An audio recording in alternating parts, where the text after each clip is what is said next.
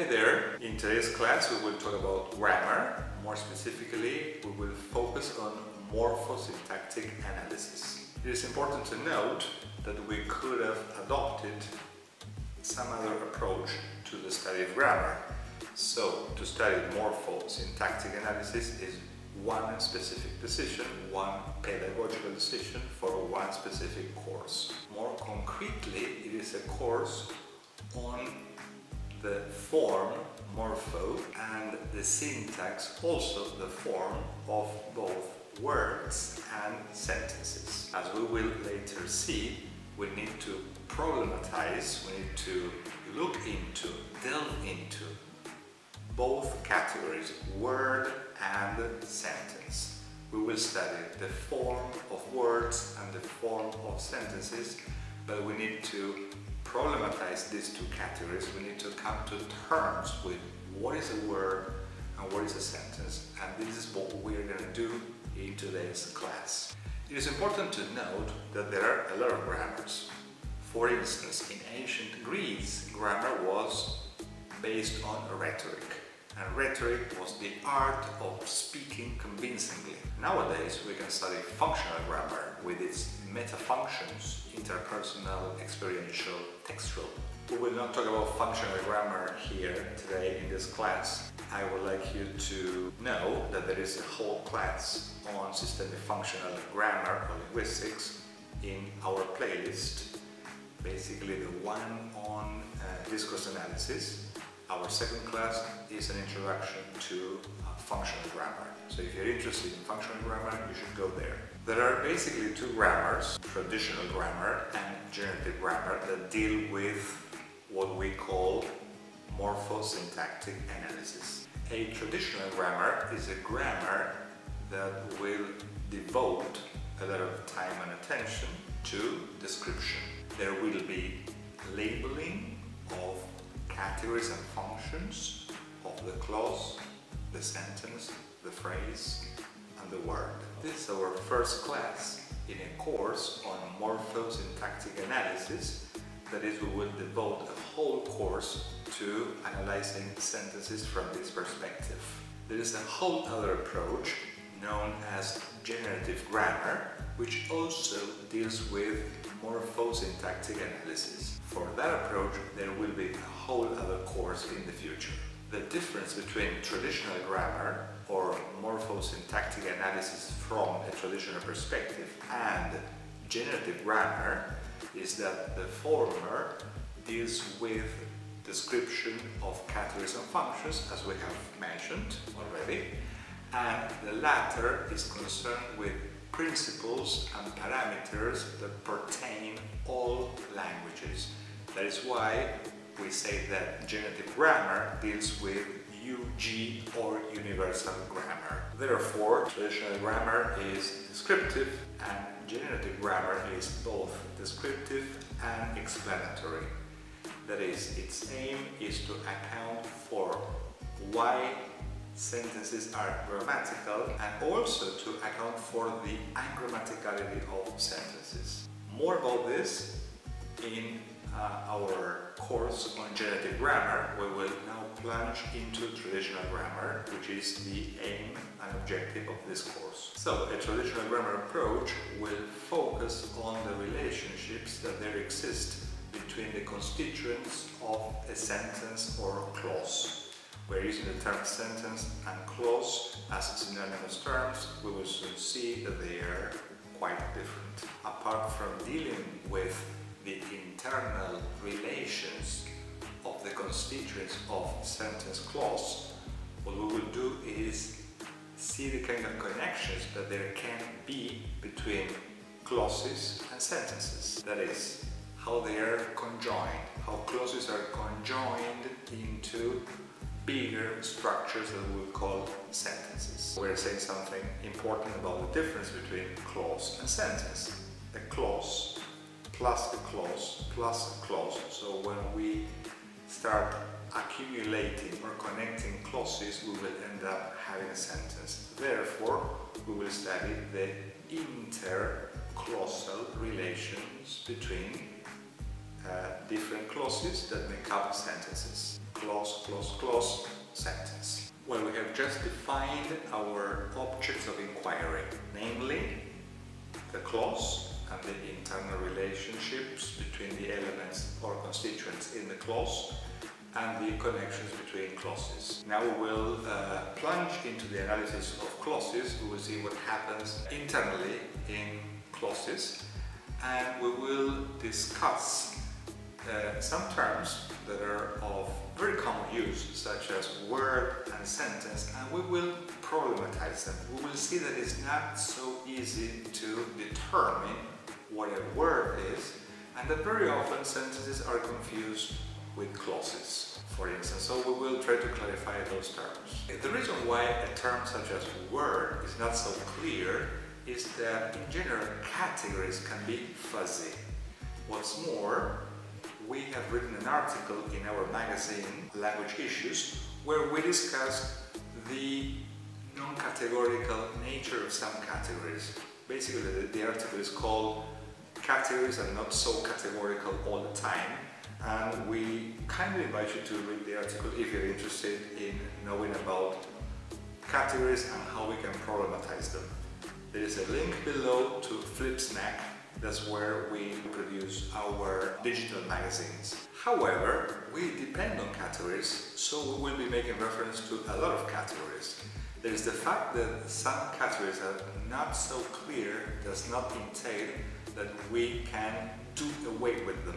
We need categories. The first category that we will analyze is the category sentence. And I will give you an example of a sentence. I left. That would be a sentence. In traditional grammar, that is considered to be a simple sentence. Why is that a simple sentence? Because it consists of only one clause. So a simple sentence is coterminous with a clause. That is, a simple sentence equals a clause. And as we will see, sentences are made up of subjects and predicates. About the sentence, she arrived and I left? In this case, we have a sentence that consists of two clauses. She arrived and I left. The two clauses, she arrived and I left, are coordinated, are conjoined by the conjunction and. Now, here we got a sentence that has two clauses. Therefore, we can and we should, I think, draw a distinction between a sentence and a clause. A sentence consists of several clauses. In saying so, what we're saying is that there is a relationship of inclusion between clauses and sentences. Again, a sentence consists of several clauses. As we will see, that is not the only criterion that we will adopt in our classification of clauses. What is more, we need to decide which the fundamental criterion for a definition of a clause is. And the answer to that question is the following. In order to decide what a clause is, we need to count verbs. If we had a structure of speech that consists of several clauses, we will know how many clauses there are by counting the number of verbs that there appear in the passage in question. The reason why that is the case is that the verb, in the future we will say predicator, but for the time being we will use the term verb. The verb is the core, pivotal, fundamental element in the clause. No verb, no predicator, no predicate, no clause. Let us bear in mind that clauses are said to consist of subjects and predicates. However, in some languages there are tacit subjects. In Spanish we can say llueve, raining. In English we need to say it is raining.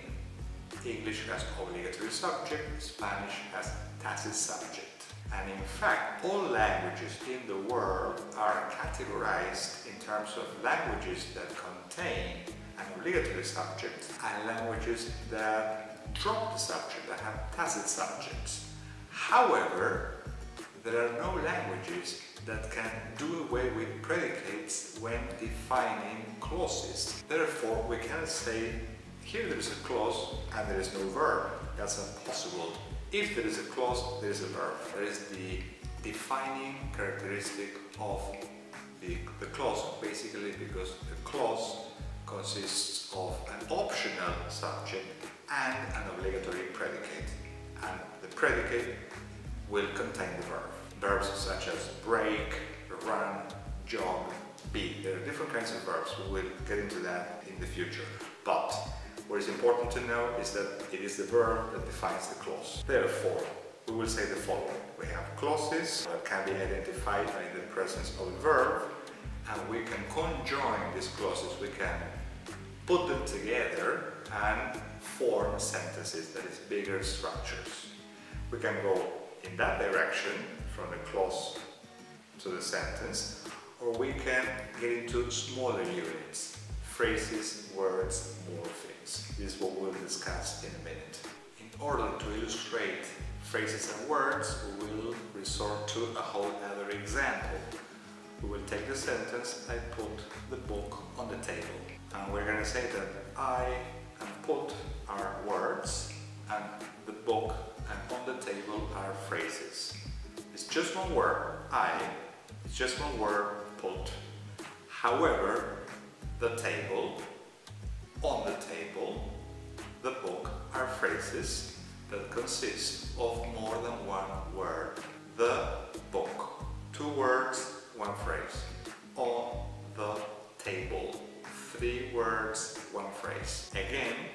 there is a relationship of inclusion that defines the relationship that there exists between phrases and words. That is, phrases consist of words. This is our starting point and as we will see in the future, this is an oversimplification because the relationship between words and phrases is much more complex and there are other criteria that we need to take into account. Now let us take the sentence I bought a microwave oven. The word microwave, it's a word, but it consists of two parts, microwave. Well, let's take the word freezer. If we take the word microwave or the word freezer, we'll see that these words are made up of smaller units. This is what we call a morpheme. A morpheme has traditionally been defined as the smallest unit of meaning. If we go for freezer, we will see that freeze is the verb, the root morpheme, the free morpheme, and the uh, affix or suffix er in freezer will be the bound morpheme. We will discuss morphemes and morphology in our next class. For the time being, it is important to review what we have said. Basically, the units of syntactic analysis. We go from the sentence. A sentence consists of one or more clauses where the clause is defined in terms of the presence of a verb. So we have a verb, we have a clause. Now our sentences, for instance, I put the book on the table, may consist of several phrases such as the book or on the table. Our sentences can also consist of phrases and words, I and put and our words, such as freezer or microwave oven, will consist of morphemes that are free or bound, and these are the smallest units of meaning. So there is some sort of scale where we can go in either direction, morpheme, word, phrase, clause, sentence, or we can go the other way, sentence, clause, phrase, word, morpheme. In our next class we will talk about morphology, that is we will talk about the forms and constitution of words. We will discuss free and bound morphemes and we will see the different types of combinations that we can have in the formation of words. Bye bye, see you.